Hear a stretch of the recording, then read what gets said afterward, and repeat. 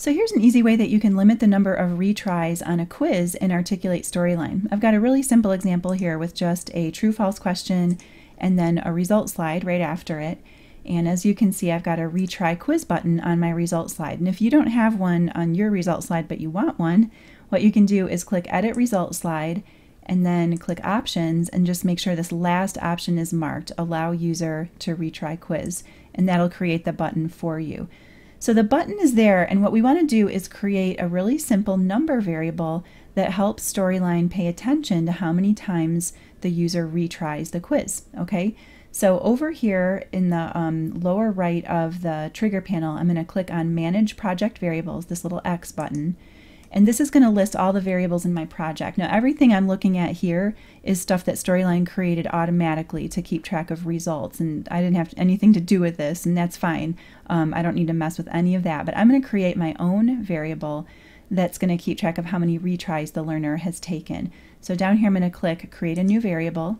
And let's just call this variable attempts. The type of variable is a number variable and we're going to set it to an initial value of zero and then we'll go ahead and click OK and now we're done here. So we'll click OK to close the window.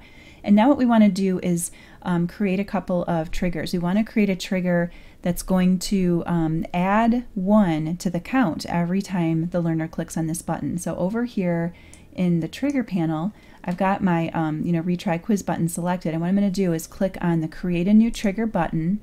And here's what we want to do for the action we want to adjust the variable called attempts, that's the one that we just created, and what we want to do is add a value of 1 every time the user clicks on the retry quiz button. So you basically just tell Storyline what you want to have happen and when it should happen. It's pretty easy to, you know, fill out these little fields once you kind of know the logic.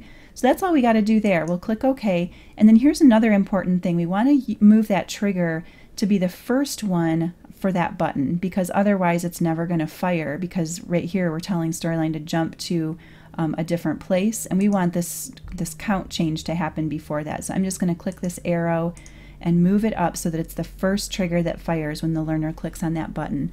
So let's say we want to give the learner uh, maybe um, two retries after their initial um, try. So if they reach two and they get to the result slide, we're going to tell them they don't have any retries left. Okay, so what I've done down here in the states panel is I modified um, this disabled state for the button. I gave it a little bit more of a gray color and then I also added some text here. And you can do that by just clicking the Edit States button and then go to the disabled state and then you can you know make whatever changes you want. I added this text box and I also changed the color so it would look really disabled.